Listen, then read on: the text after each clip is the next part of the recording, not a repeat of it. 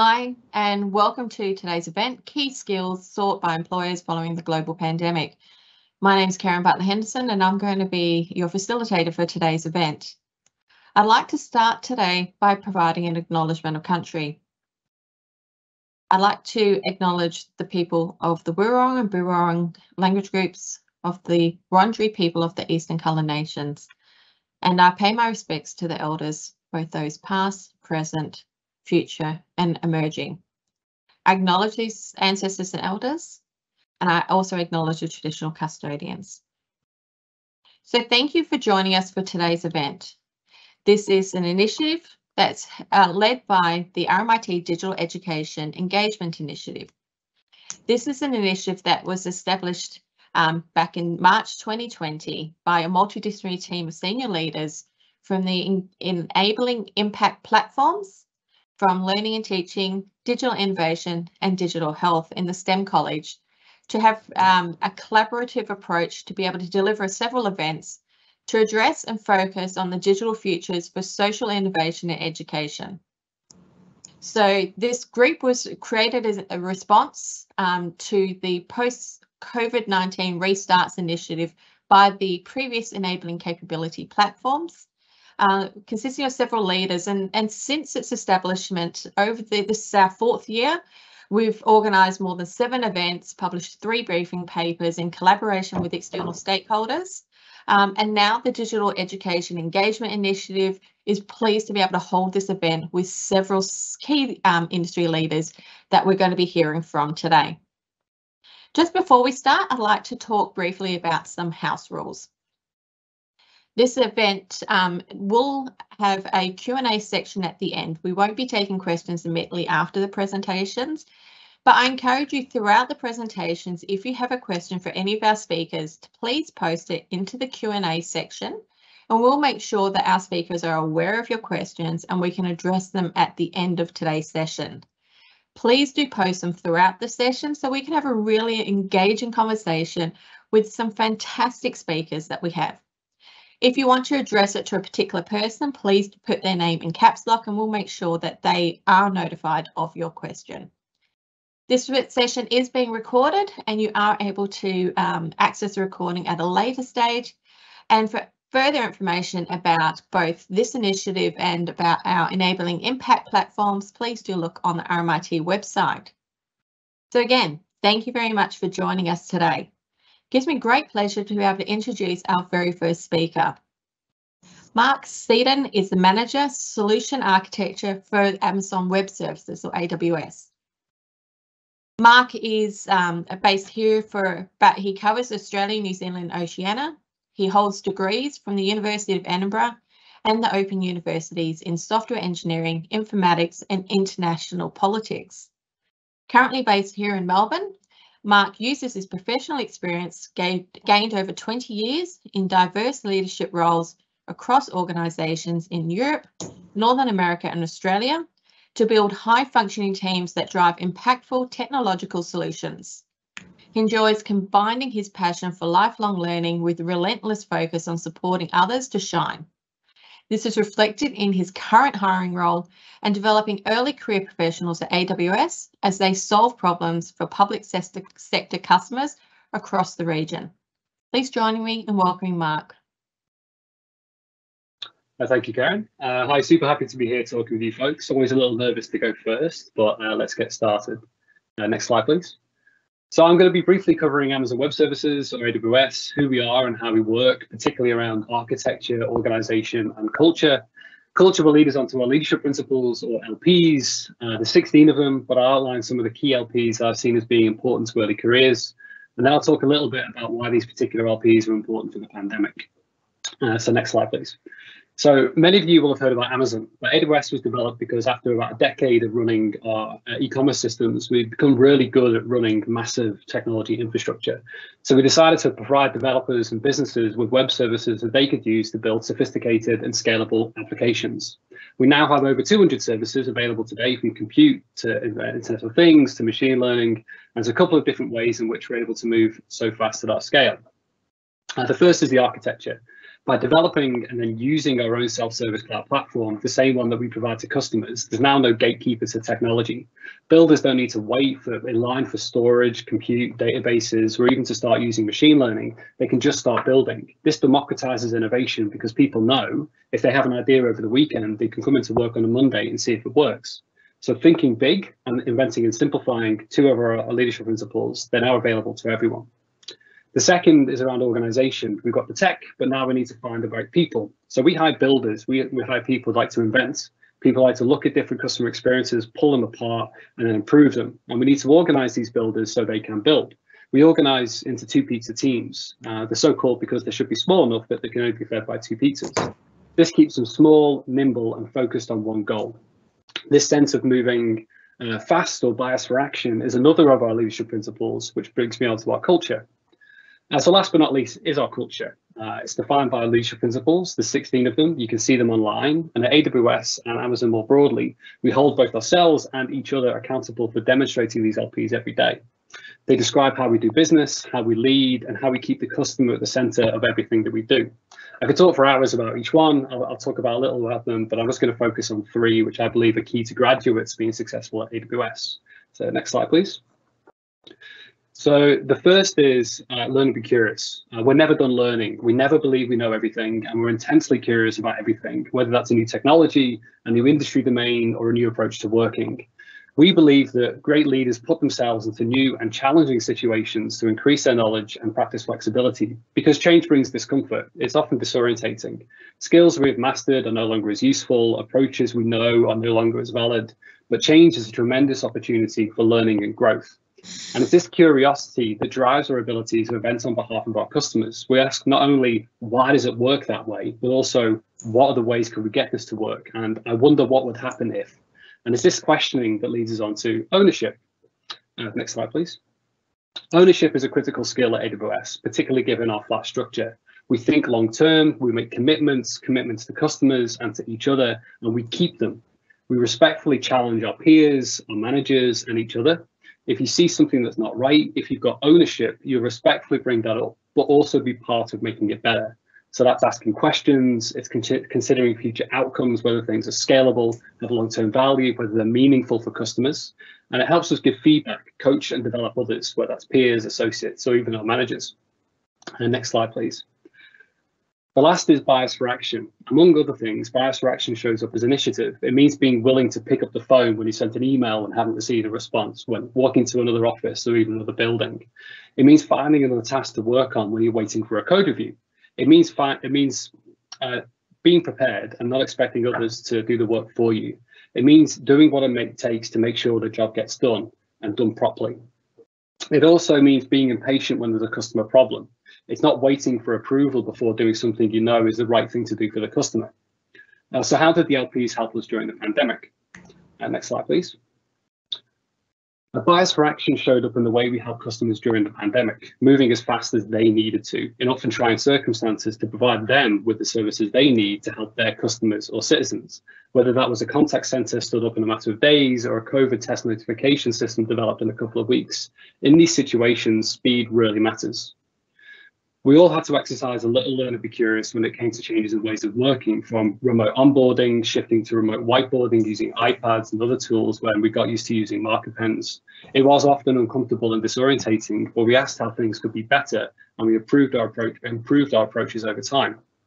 It's also had an effect on early careers. It changed the changed ways of working had significant impacts on graduates entering our workforce.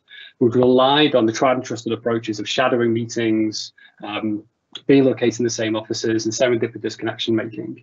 But we all had to take much, much more ownership of the development of others, giving the feedback, creating networks through intentional mentoring, more regular one-on-ones and more active coaching. So in this very brief talk, I've tried to outline how we think about doing business at AWS, what skills we think are important in line with our, with our LPs, and why this mattered during the pandemic. Thanks very much for listening to me. I'll hand over back to Kerryn.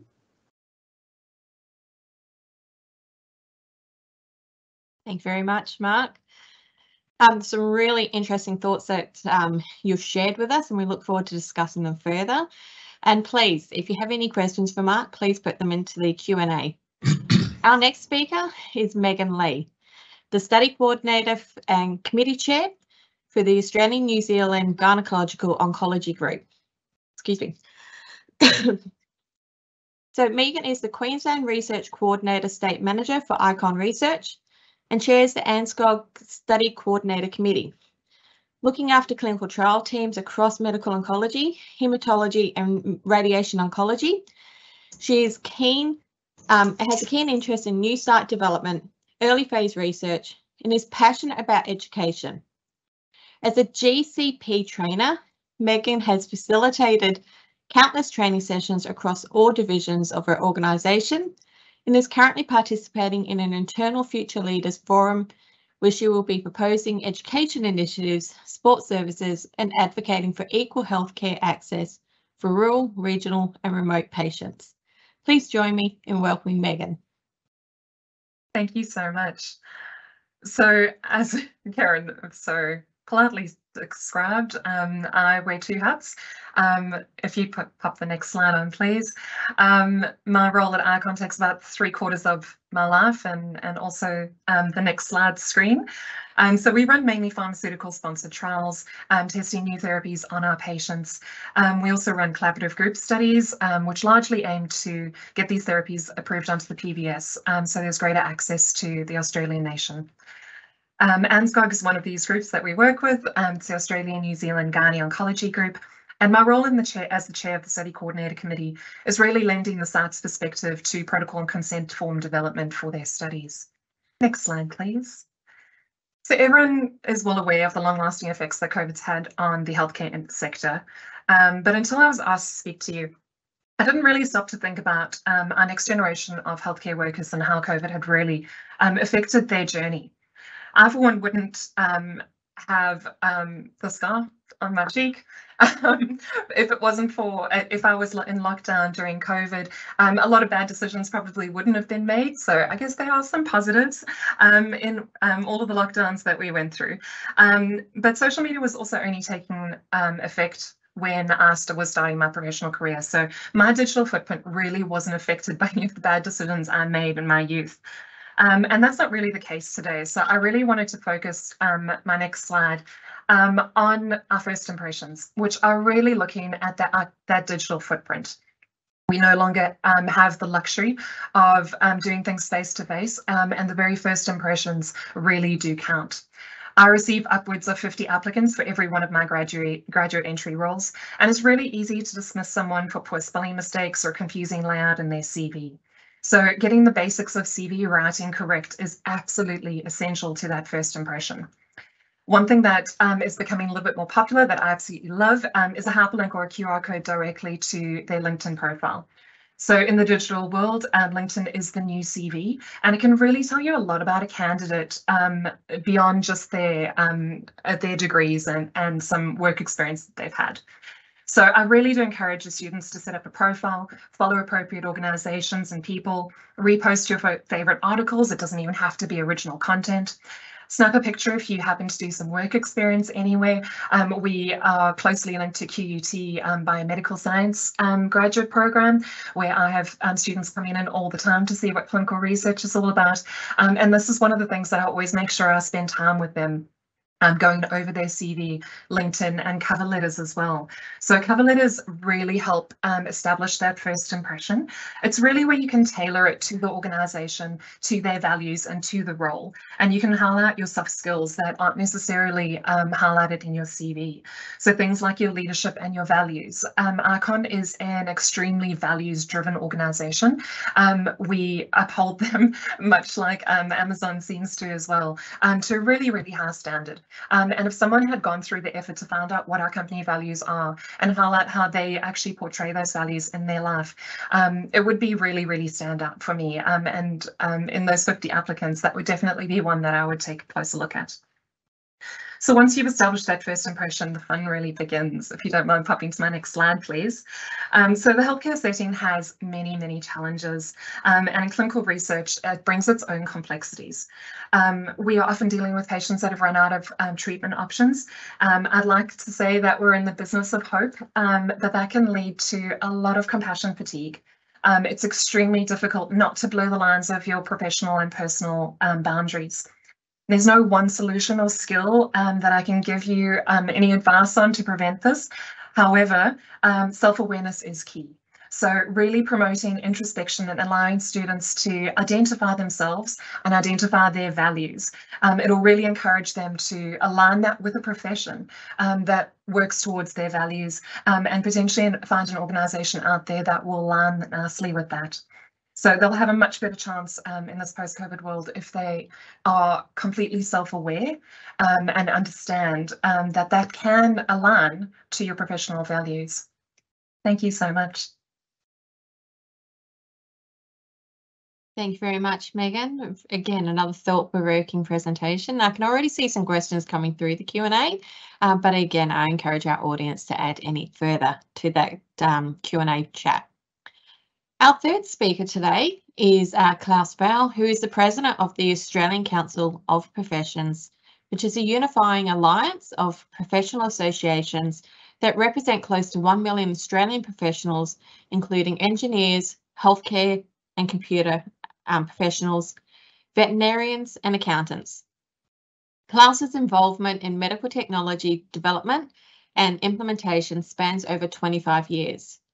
For several years, Klaus was the CIO of a major healthcare, uh, major Australian um, healthcare corporation.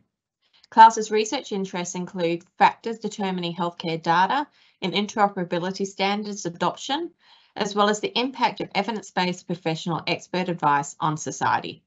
He's passionate about e-health, and that's how I know Klaus for a very long time. He's founded nine businesses as well as three not-for-profit organisations and successfully turned over a dozen entities.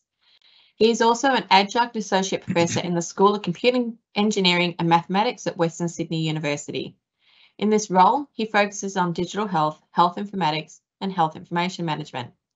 Another current role being undertaken by Klaus is that of prime, um, principal partner of Digital Health Education Partners, he teaches a variety of workshops, courses and seminars, including the two-day intensive HL, HL7 implementation course and the infamous HL7 certification bootcamp.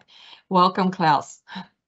Thank you very much, Kerryn. If I could have the first slide, please uh, about the Australian Council of Professions was is, as you said, Kerryn, the Unified Alliance of Professional Associations in Australia. And through our uh, member organisations, we represent about a million professionals um, in this country across all different specialities. So if we go to the next slide, my focus today is um, from that lens, not from an education lens, high education lens, but actually from the lens of um, professionals. Uh, in this um, or peak body of the Australian Council of Professions, we have four areas of advocacy, just for information, education, accreditation, micro-credential and employability, and that's really germane to our discussion topics here today. Professional and ethics, um, probably also important for professionals. Diversity, culture and inclusion, I think we need to exercise that wherever we are. And of course, climate action, that's our fourth area of advocacy. Um, this is particularly promulgated by two global firsts. We've appointed a chief professionalist and a chief futurist, um, but that's just flanking information.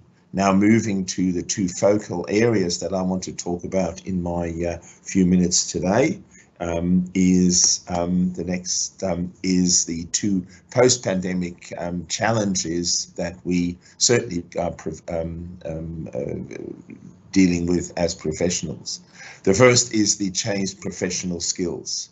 I mean, we all know about working remotely. Um, for professionals in particular, there's a challenge of gaining new clients without person-to-person contacts. The usual places where you find new clients, um, etc., aren't quite exist anymore.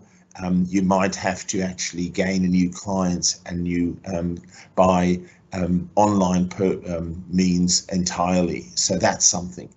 Resources now need to be accessed remotely. You can't just go to the local library or you can go to the local university or the campus or the local um, um branch of your professional association. It has to be done remotely.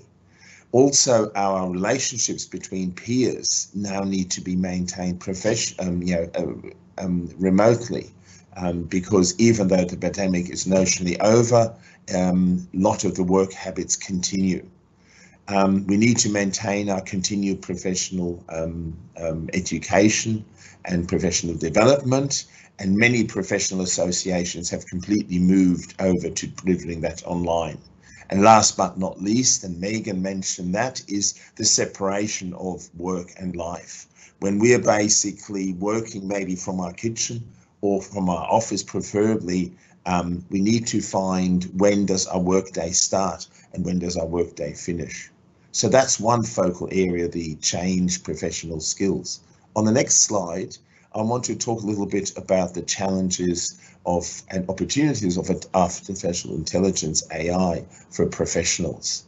Um, so what our experience has been as professionals is, you know, products like ChatGPT's quality of professional advice is astounding.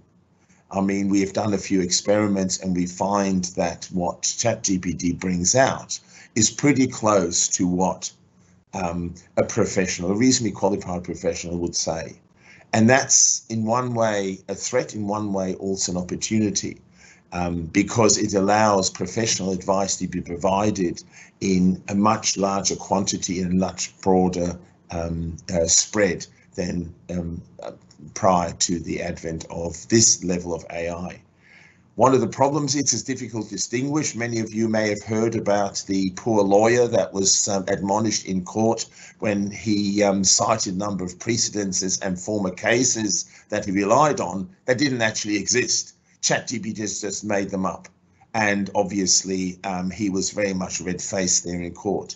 Um, and because anybody can use ChatGPT, um, and that's just an example of AI, um, the question is, you know, how do we then make sure that the advice that's provided, uh, the professional advice, actually has the quality that we're looking for?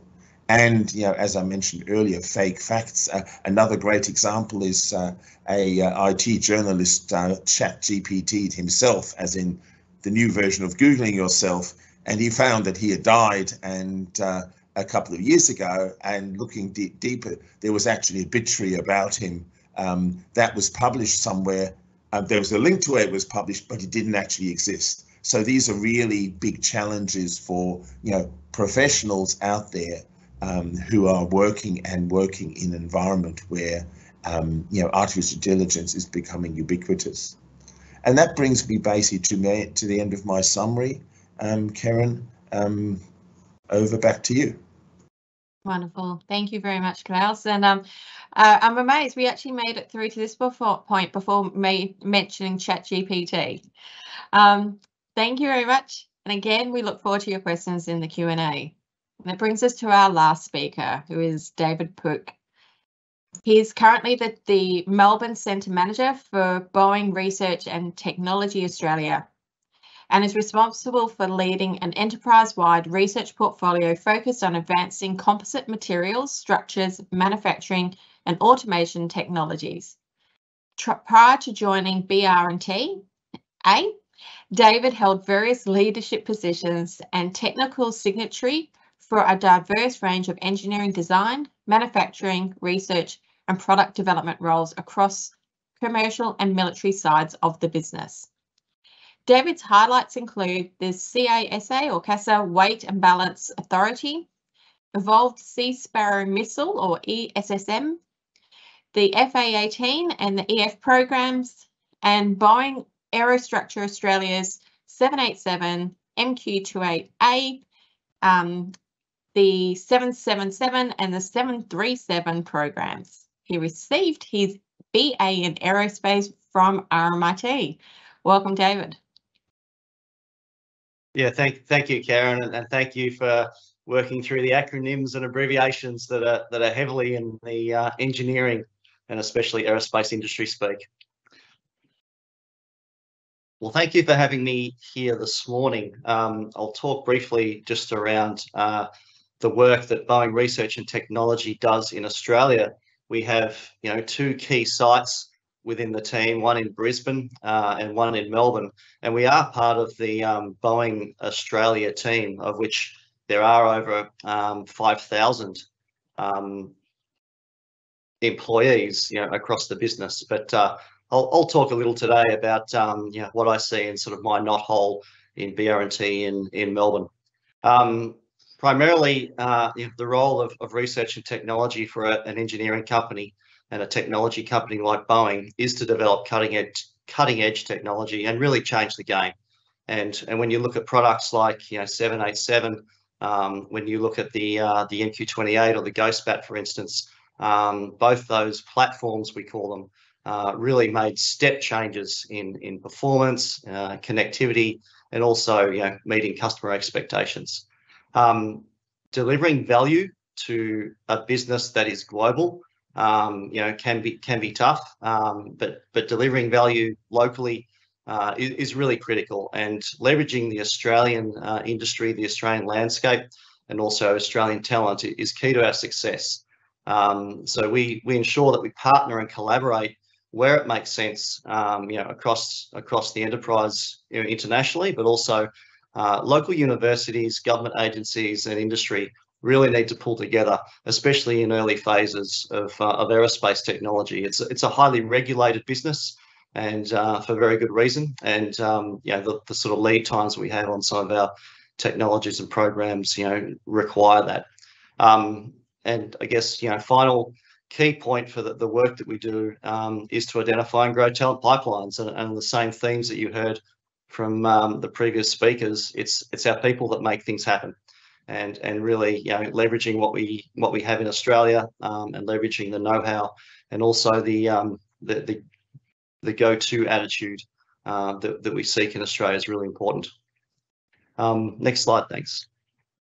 So just wanted to talk a little. Um, we've recently been through um, you know, graduate recruitment. Uh, we're all flying, uh, aircraft orders are picking up and the world's opening up from COVID. Um, obviously, the aerospace industry and the um, airline industry was hit very hard in that space, but uh, we're, we're on a massive curve now of, of increasing uh, rates, increasing uh, travel and increasing you know, demand for product.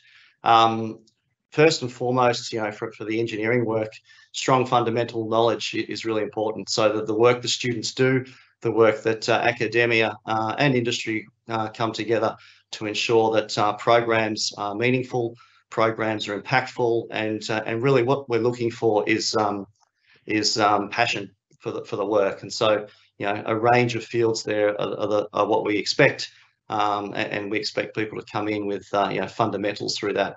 Um, a, point of difference, you know, that work-life balance that we'll, we'll see probably come up through the uh, the talk is really critical. But uh, on our sites, um, you know, around Australia, around the world, and even Port Melbourne, it's a it's what we call a pretty rich environment. You've got people, you've got automation, you've got people and automation working together, uh, and that's increasingly uh, happening, as well as um, you know scale of, of products, you know, whole aircraft or whole sections of aircraft are being designed, fabricated, and built. Um, it's particularly you know exciting for people coming out of the pandemic to to be on a site with so much activity. Um, you know, model-based engineering or, or digital engineering. Um, it you know it's it's not become the new norm. It's it's the way that we deliver product quickly. Um, and, and, so that skills related to um, not just being able to build something by hand, but also to validate and and model uh, and simulate that is um, increasingly important. And in fact, our time to market um, is, is making step changes at the moment because we're doing thousands of, of trials digitally before we get to the, um, you know, the hardware development phase. Um, people, uh, you will deliver breakthrough technology. Um, agile framework, and you know, if you're familiar with software, based sort of work, an agile framework where we fail early and we make it safe to fail is really important for low low maturity tech and people development. And then, you know, high maturity programs will have an aircraft to meet or a delivery date uh, to hold, and, and we'll use sort of classic structure. So your knowledge and knowledge of teams in in both those areas is important. It's the agile that's that's new to us, and uh, and and really the software um, industry really is leading the way, and we're, watching carefully that. Um, effective teaming um, is always really important our environment is dynamic and um, we get the best involvement of people and, and their own experience um, when uh, when teams connect uh, by working remotely, um, it allows people to get the sort of things done that they'd like to get done uh, away from the uh, the physical space or the physical factory. Um, but also things happen quickly in a, in a physical factory. And what is fantastic is to see people uh, band together um, and, and uh, corral around problems on site where needed. Um, and that's that's really important for us.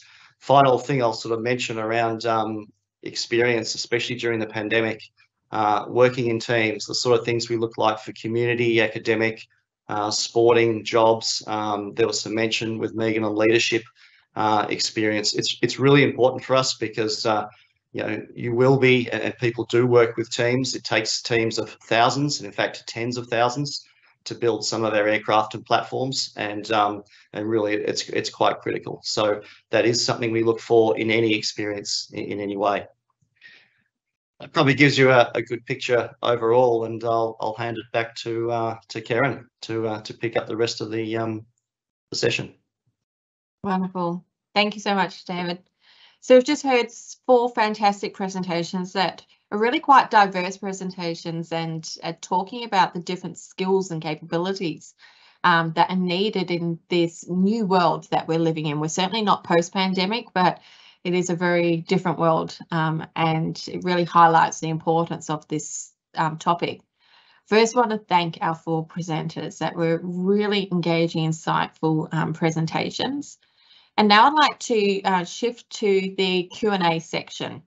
We received several questions as part of the registration from you, the audience, um, and our panelists have considered uh, a few of them that we're now going to talk about. But I would also like to, again, encourage you to put any questions you have for our panelists in the chat and we'll make sure that we um, share them with our speakers. But David, you were, um, you know, our most recent speaker, uh, the last presentation. You talked a lot around that skills and capability, and this came through um, a number of times uh, through the questions from our audience. So can I put to you first, what are those critical capabilities and skills required to manage and leverage future challenges for industry? So what we've seen in our industry is, um, you know, with, with, with an engineering, you know, he heavy team, you know, the, the, the, engineering fundamentals are kind of given that, that we work to that and we work um, in those spaces. What is changing for us though, and what continues to change for the better, obviously, is that digital connection. And so really our teams being able to um, build, uh, you know, progress, but also trust sharing and working in a dynamic environment.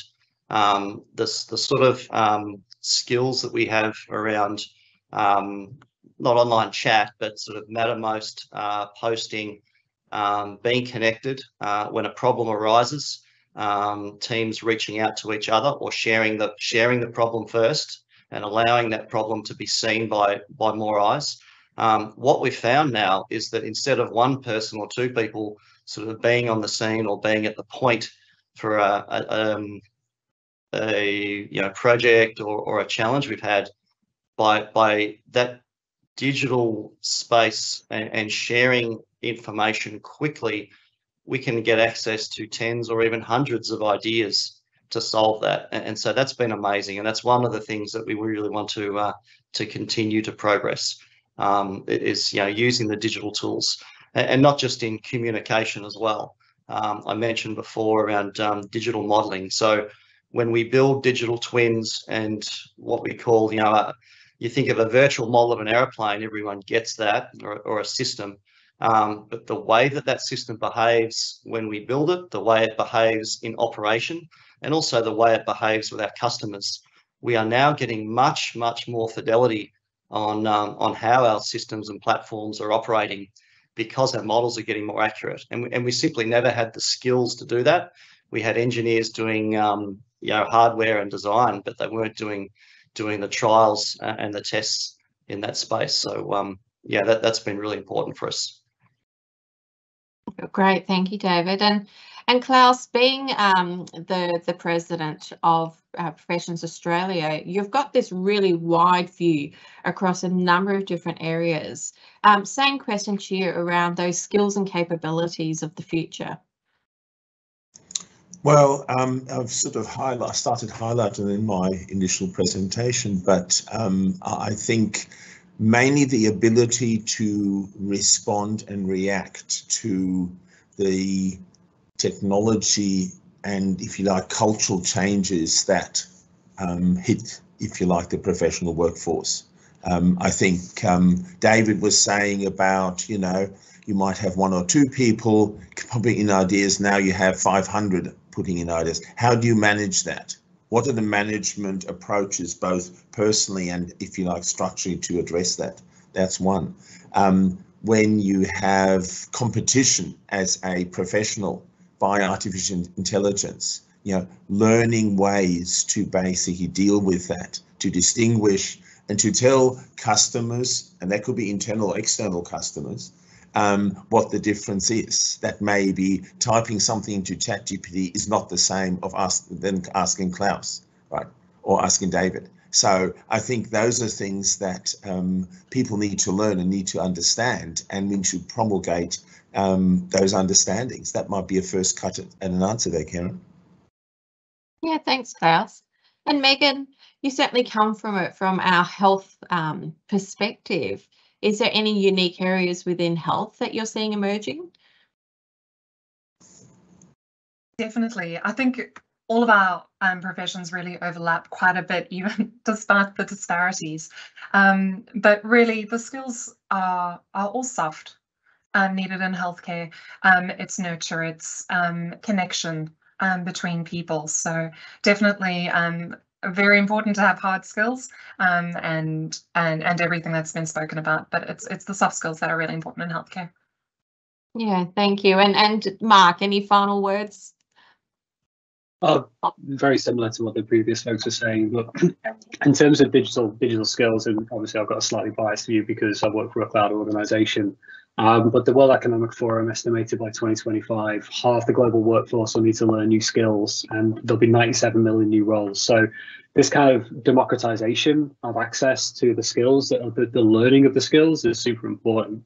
Um, and so I think that's that's something that we all need to do as industry is make sure that folks have the access to the skills, to learning the skills and capabilities that we need, uh, just as much as just expecting them to have it.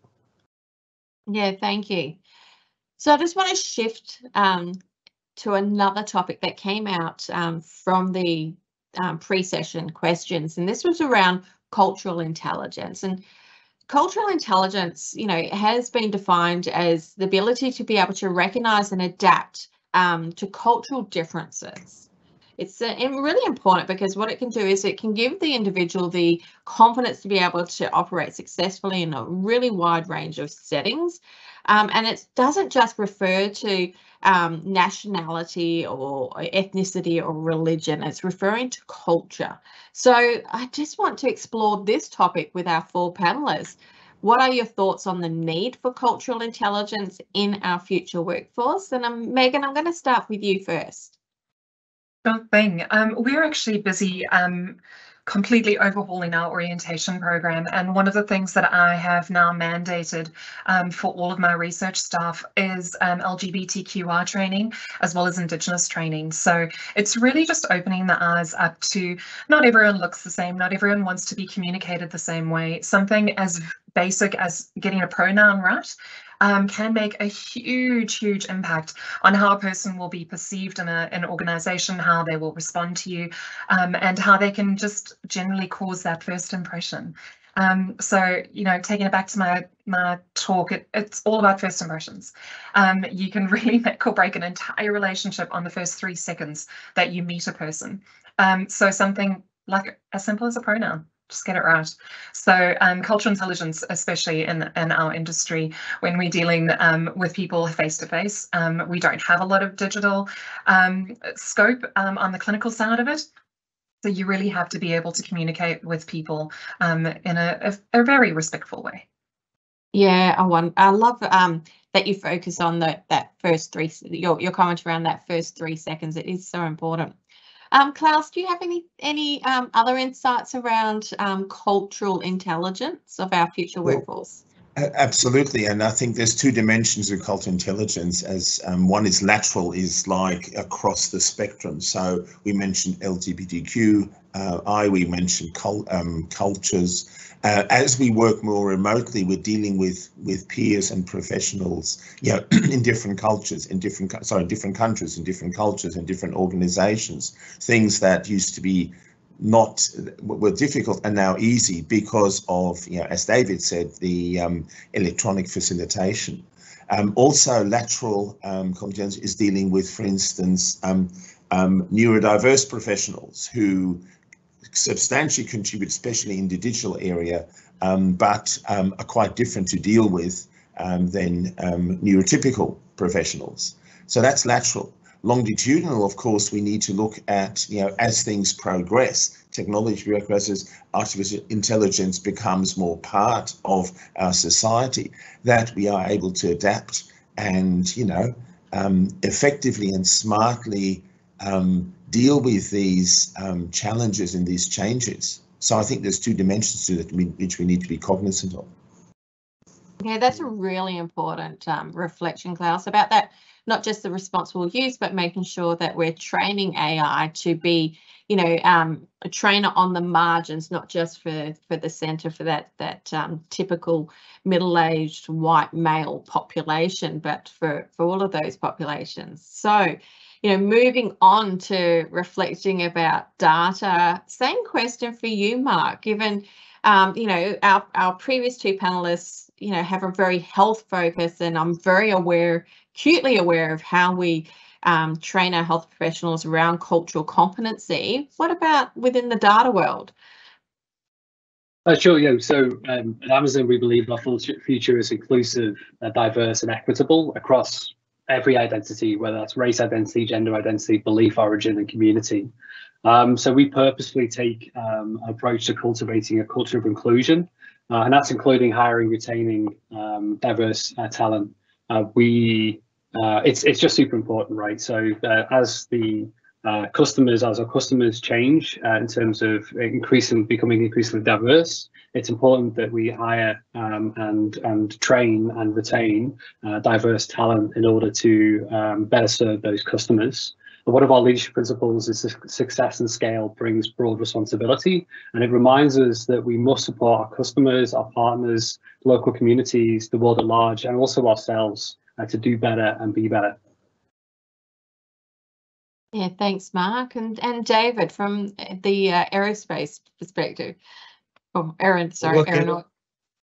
Yeah, yeah, the, uh, you know, simply say that you know diversity, um, uh, the the problem solving I mentioned, you know, coming up with uh, step changes to technology, or which is essentially a you know, a solution to problems um, or even a solution to problems we don't know of yet. Uh, diversity is, is absolutely key to that. And so, you know, leveraging cultural differences where you can. Um, I've seen some amazing, you know, amazing uh, ideas and talent come through. um, you know, for example, you know, teams working in Australia, um, when we work with uh, our, our peers in Japan, in Korea, India, uh, it's amazing what new ideas come up and, and what um, and new solutions come up and even even new products come together because uh, we simply don't know what we don't know and, and, it takes that, that diverse. So recognizing that there are differences and recognizing that those differences will make you stronger, um, even if in the short term there's often a bit of learning and, and getting to know something or getting to know one another. It's absolutely critical to recognize that and, honestly, companies' uh, business outcomes and you know your workplace is better with, with a um, you know a diverse range of people you know pulling together, sharing, and frankly having fun. And, and that's the important part. Yeah. Yeah, and and the, as you've reflected, we um, in, we're not restrained by geographical borders, and often we are global um, employees now. So we are working with people um, not just with our culturally diverse populations within our Australian workforces, but with our international partnerships as well. Again, I'm going to shift the chain at the, the focus a little bit um, to another question that came up um, before the as part of the registration. And, and this is something that a few of you actually touched upon um, in your presentations. And it's around that hybrid work models. So the question is, do hybrid work models improve work-life work-life balance or does it reduce the productivity and efficiency of work? Mark, I'll start with you. Uh, thanks, Kerryn. It's it's it's hard to believe, isn't it? But it's been nearly three years since the pandemic began, um, and uh, back in 2020, uh, we started working from home um, pretty much full time. I think for, for us it was February, uh, February 2020 in Australia, or certainly in Melbourne. Um, so we changed gardens a couple of times uh, since then, um, but we we saw different models. Right, obviously we uh, through through the lockdowns, uh, we saw complete remote with folks working exclusively from home. Uh, some after after lockdowns ended or in different localities as a global organisation, we operate in, in many different places. Uh, so some folks started to go back to work uh, in the office more quickly, and we saw lots of different hybrid approaches as things ebbed and flowed over time. Um, and so uh, more recently, I think it was in uh, February, we, we, moved to a hybrid uh, approach to uh, three days a week in the office in, in certain places. And there's a few things um, that we saw that made that led us to that. And the first thing is I touched on earlier earlier on in, in the um, the ownership, and it's easier to uh, to we, we, we believe very strongly in, in our culture, our leadership principles, and it's easier to model, uh, practice, learn, and strengthen that culture when we're in the same room. You can do it remotely, but it's more challenging. It's a lot easier when you when you're in person. I've got like every every organization has their own culture. Uh, I'm not pretending that ours is ours best. It's just one that works uh, it works well for us. And so digesting that information, being with other people in a room, being able to continue a conversation uh, because you've had a whiteboarding session and you really want to focus on one idea. Uh, when you when you're doing it remotely, the, the meeting ends and that's kind of it. And unless you're super intentional about it by reaching out to that person, continue that conversation, it, it can be quite, it can't, it's not necessarily fluid. Uh, whereas when you're in the office, you can say, "Oh, I'm, everyone's going to break for lunch." It's like, "Oh, I might sort of grab a colleague and say, hey, I really was interested in that idea. Let's explore that in more depth." So you can be more natural, more fluid. That's a lot easier to do in person. Not impossible to do remotely, but it's a lot easier to do in person. So that kind of collaborating and inventing and, and riffing off other people's ideas um, is, is is much easier. Um, and also learning from each other is, is easier in person. Being able to walk a few steps down the uh, down a corridor and, and ask someone a question. So I, I saw that you asked that question in a meeting. What what was your intent behind that question? Uh, that kind of learning from others, that kind of experiential learning. Again, you can do it remotely. It's not impossible. It's just a lot easier to do in person. If I think about as a solution architect, we're field facing, so we work directly with customers. And a lot of my learning in my first couple of years, I've been with Amazon for about five years, was in the meeting in the post post meeting uh, drive to the to, to the next customer where you know I chat with my account manager and say hey you know that how did that meeting go? How did it learn? What did you what do you see? Who's a who's a supporter? Who's a who's a detractor? Uh, and so on. Um, and that 15 minutes of learning you, you, it's very difficult to do that remotely. So I think that hybrid approach being respectful of other people's times and the way that the world has changed, um, but also being much more intentional about how we spend our time in the office. I think that's going to be super important. That kind of intentional activity uh, is super important as opposed to just just going straight back to the office full time. I think that's uh, it's uh, the, that the kind of hybrid approach that works really well for us. Yeah, I I so miss the the water cooler chats, the the kitchen lunchroom chats. What about you, David? I mean, we are flying again, um, and uh, you know, how's it changed within your environment?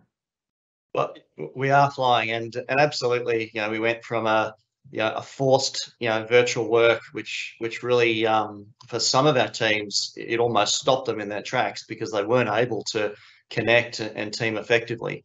Um, we've now you know moved on and, and you know production rates in our factories are increasing and, and opportunities on new products for our digital and our design work is increasing. So um, similar to what Mark said, you know that that three days a week, four days a week, um, you know, we really work with with our local team um, to uh, know to make sure that we balance the work on site, uh, and I've called it the teaming work, but you know the connections, the um, the direct you know the direct conversations, but also the value of indirect conversations, and also as Mark mentioned, mentoring, um, seeing your leaders, seeing how they behave in situations. You simply haven't heard me, you know, um, you know, my reaction to good news or bad news, you know, my team won't see me if it's virtual. I've turned off the camera, but they, you know, they'll definitely see me, you know, when they're with me in the room, so to speak. So that's important.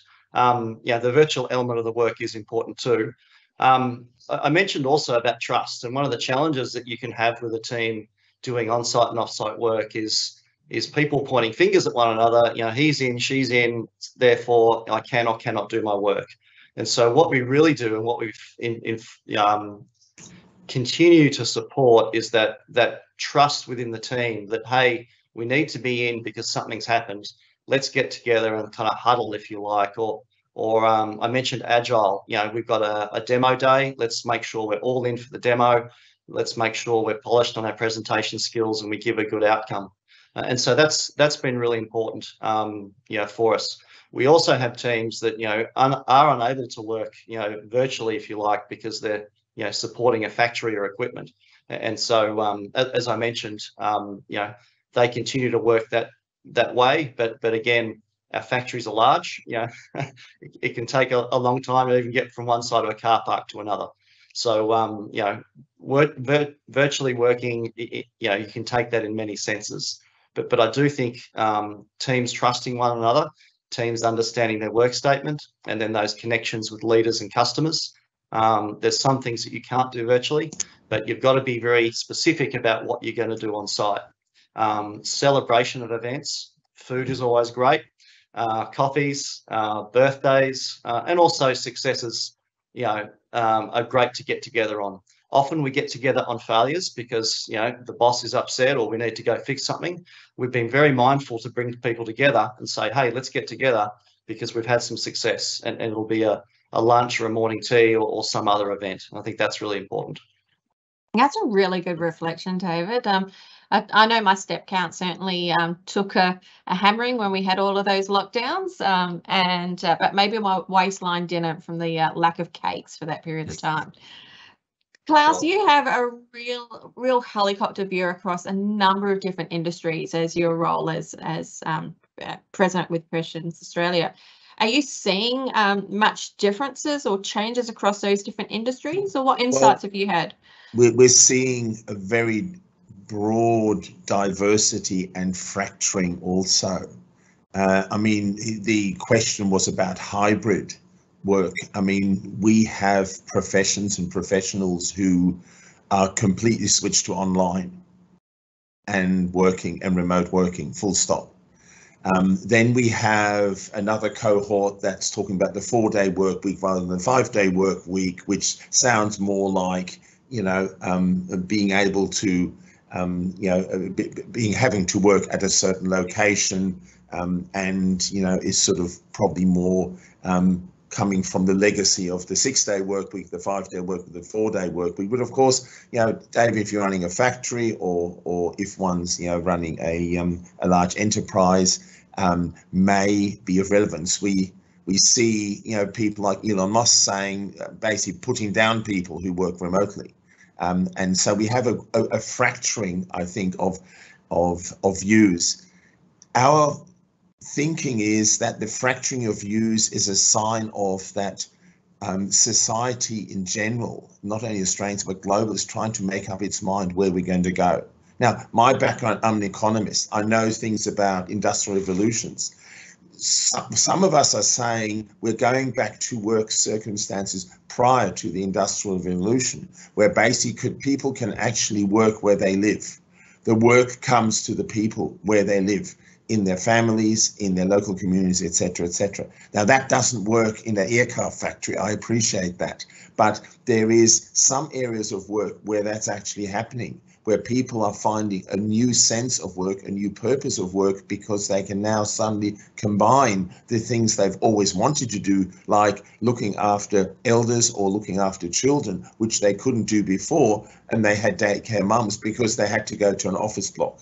And some of these things are really, I think, disrupting the thinking.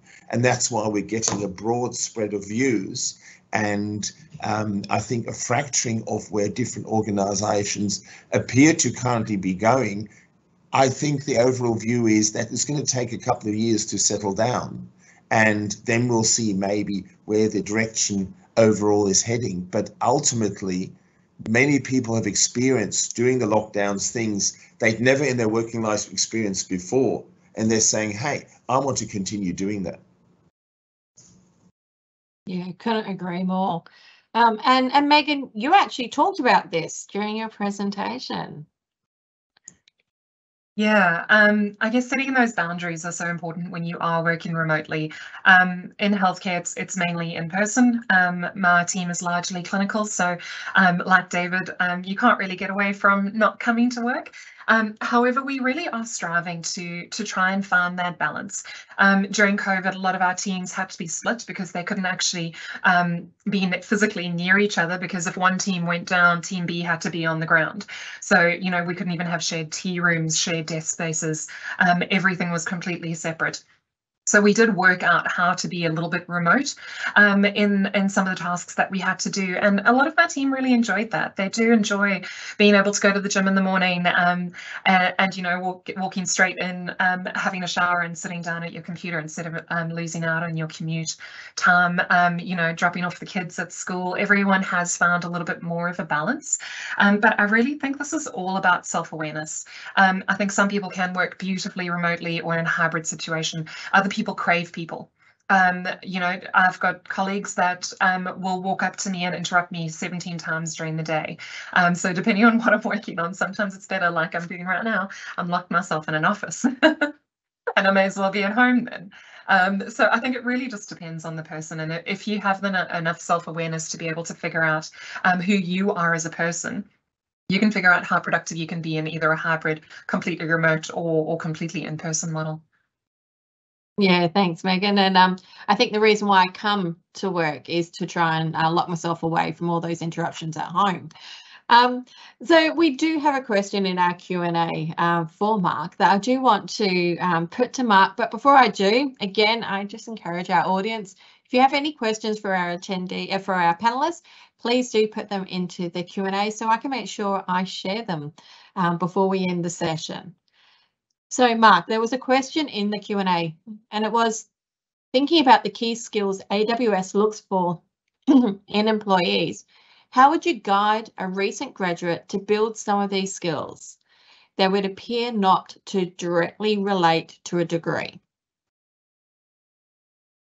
Uh, yeah, thanks, Kerryn. It's good. Yeah, good, good question. So, um, if I think about some of the, I try to be reasonably broad because uh, Amazon Web Services and Amazon more broadly, of course, we hire for lots of different roles from software development engineers to solution architects to legal counsel to uh, data scientists and, and, so on. So I didn't want to focus too much specifically on, on the kind of technical skills.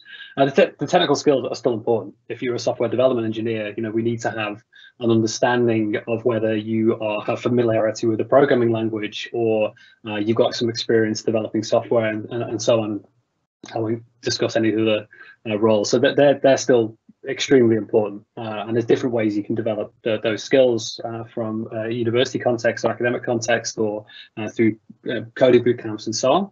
Uh, but we do strongly need those those technical skills or those technical skills that are relevant to a particular role. If I think about say learn and be curious.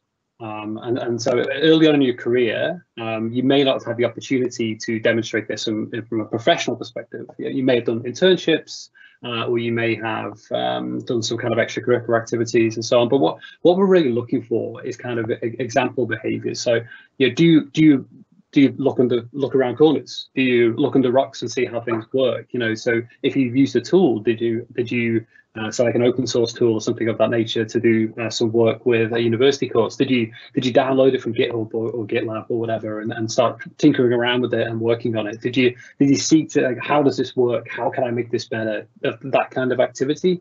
That they're the kinds of they're the kinds of experiences that we're looking for. If we're thinking around bias for action it can be from a university course if you're working with um, a, a group on a university uh, project or something of that nature, you know, you, you saw a problem, uh, and we might ask, is like, did you see a problem and, and do something about it? And it's like if you if you looked ahead, if you were proactive about spotting that there was a problem coming, perhaps you you saw there was an issue with the approach that you were taking. Did you uh, did you stay silent or did you raise that respectfully with the rest of your group and, and proactively put, to put a solution in place to, to solve it? So there's a number of different ways in which you can do that, both from an academic, you can demonstrate these kind of LPs, and I, I do strongly encourage folks who are interested in a career at AWS or Amazon more broadly to, to familiarize yourself with with our LPs because we, we do use them genu- generally genuinely use them every day. Um, and, and think about experiences that you've had that, that lend, that lend um, themselves towards those LPs because it doesn't have to be a professional experience. It could be academic, it could be extracurricular, it could be sports related. It, it really doesn't matter. So hopefully that's that's helped um, help people Yeah, think thanks, about uh, how we think about those LPs. So sorry. No, I was just reflecting that, you know, that advice is so relevant across all industries. Um, and I think everyone, I was watching the rest of our panelists that were nodding along with you. So um, really um, great advice that is, is very global um, and can be extend across all different areas. So I do have one final question for our panelists. Once upon a time, we used to talk about, you know, uh, as a future skill that we need to have computer literacy. Now, AI has come up time and time again throughout this presentation. It is coming up time and time again, you know, in the media. Um, it's being raised in our, you know, even just our um, our our programs that we offer here at RMIT. It is pretty much part of every conversation that I certainly, you know, am having with industry and, um, you know, with different areas of the sector for me within health. So, you know, um, I'm sort of reflecting, you know, now we've sort of moved from that, um, that, you know, making sure that we've got computer literacy to do we actually need to make sure that we've got AI literacy? Um, I put that to um, each of you, uh, each of our panelists, um, and I'm going to start with our very first panelist being Mark. Oh, thanks. Get to talk again. So uh, AI is AI is super super important, and um, at Amazon we've been we were thinking and thinking about and, and using AI and machine learning in, in many of our services, uh, from you know, book recommendations on Amazon.com many years ago to uh, some of our more modern services um, uh, that we, we provide as well, from uh, Alexa or Amazon Go, no checkout stores and things of that nature. So we've always been thinking about how we can find practical use uh, for these kind of technologies. Um, but if I think about it, I'm a software engineer by trade. Um, so I, I develop software for a living. Uh, and of course, there's tools out there with, with ChatGPT and, and, various other services that that provide um, some of uh, some support to to folks when they're thinking about um, developing code. But if I think about that specific use case and, and developing code, um, yeah, we, there's various different services that we have available, like Amazon Code Whisperer, which which supports software developers in, in thinking through um, how they can uh, spe speeding up the way that they develop code. But it, that kind of the systems thinking the overarching um, how are we actually going to build all of this together to put it into a large system that's actually scalable and is going to work well and is going to solve a problem that's super important you still need to think about how you take that large complex system and break it down into decomposable parts that you then can use AI to help inform the way that you approach it. But going to Klaus's uh, comments he made before around the professional advice, you still have to have that base level of understanding to interpret the guidance or the information that things like generative AI is providing you to be assured that it's the right thing to do. It's very powerful, but that kind of fundamental knowledge is still required to correctly interpret and apply that that information in a way that's going to be meaningful uh, for customers. Thanks very much, Mark. Megan, what about within health?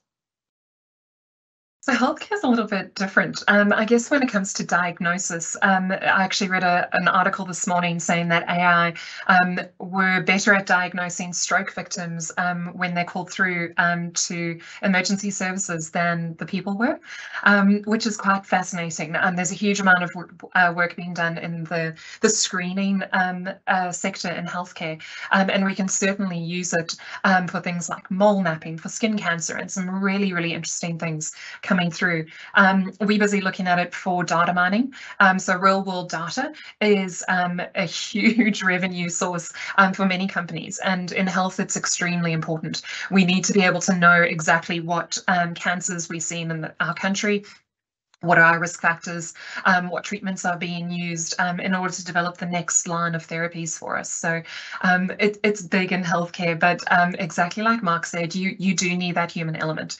Um, even if um, an AI bot could detect a stroke victim faster than a person could or more accurately, they can't be the ones who treat them. Well, not yet anyway. Watch the space. Agree. And Klaus, I know you've got some really great insights in health, but also, you know, those other industries. Um, and I actually did a presentation for you um, last year, I think it was, on um, ethical and responsible use of AI. What's your thoughts on this?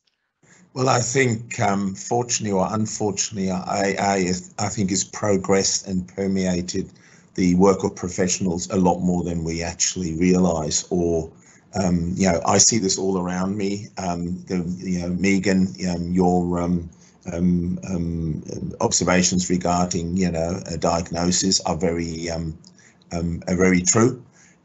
and I see it people using it personally.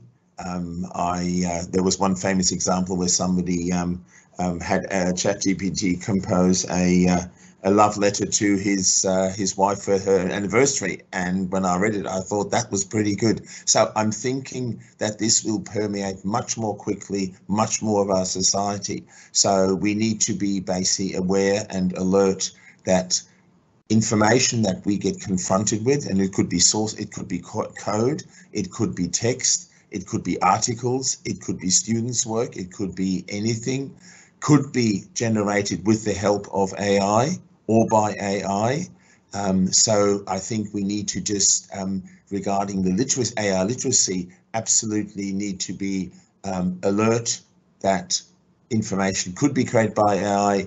If it's being created by, what are the you know, parameters under which it's created, and how is it being used? And uh, more importantly, you know, has it been verified?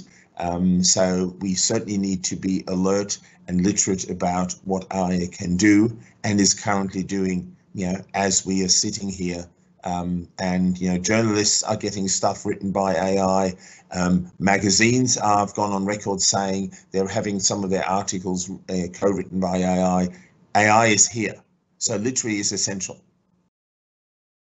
That's it. Thank you, Klaus. And certainly not just of our workforce, but of our consumer and citizen populations as well. David, any final thoughts from you with regards to AI literacy?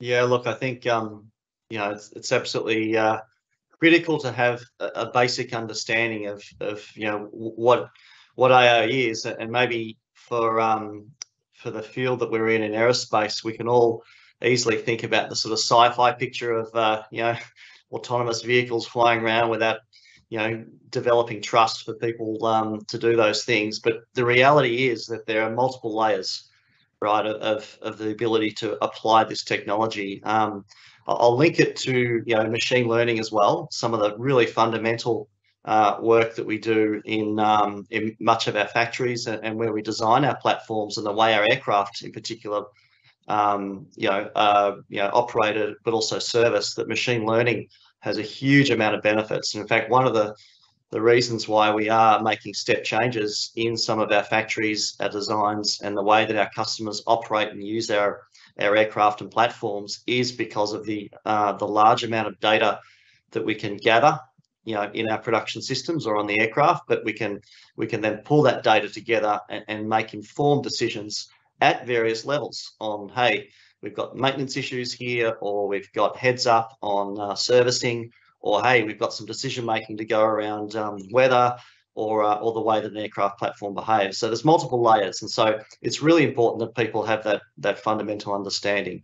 It's a really rich area as well. I mentioned the word rich because every time we take a close look at a problem um, and, and we apply some AI, machine learning, or data gathering and sorting to help solve that problem, um, more and more it's helping solve it. So within our company, uh, there's actually a growing division and a growing need for um, you know for what we'll call autonomy, but um, you know AI and ML and software development, and it's only going to grow in the future. So for graduates, you know, pr prospective students, um, you know, it's a great growth area. It's it's um, for our platforms. It's it's in factories and it's in our you know in the products you fly on, on your next holiday. Uh, you have a think about all the the um, the background data that's being generated as you fly uh, to and from uh, getting you to your destination, but also getting you safely there and, and making sure that um, you know everything's operating efficiently. It, it's an amazing space, and there's a lot of development there. So the fundamentals are really important.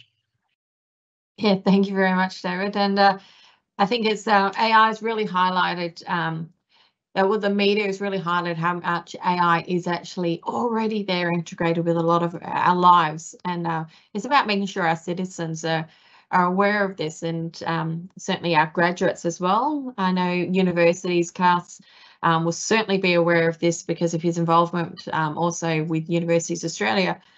Universities are still really divided on this topic, and we saw when ChatGPT was launched in the media, there was a lot of discussion about whether universities were going to block it or allow it, and RMIT is certainly on the side of allowing it, um, not blocking the technology, I should say, but being able to explore how we can safely embrace and use um, AI um, in this area.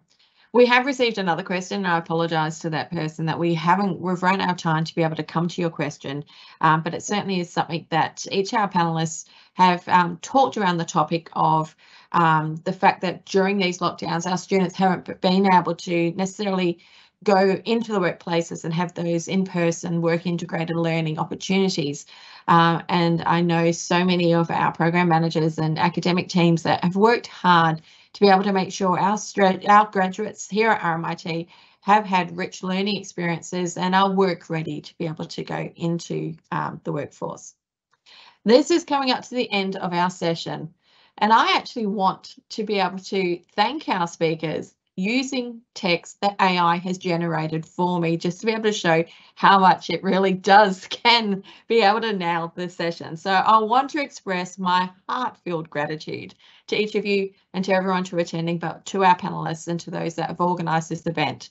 Your presence has made this event a resounding success, very presumptuous there, but I think it was, um, and truly meaningful. It is an honour to be able to share, hear from you, all of your insights and knowledge, um, and your participation has created a really thought-provoking conversation and very valuable contributions. I think AI has nailed it there I now want to say thank you very much to each of our panelists. We've had a really uh, interesting discussion uh, today, and I hope our audience has uh, been able to get some great insights from our panelists about what's happening in industry uh, in this new world. Thank you to our panelists. I'd also like to thank um, our organisers for today. Firstly, I'd like to uh, express a lot of appreciation to Michelle Nico, um, who goes out of her way to be able to organise um, these events.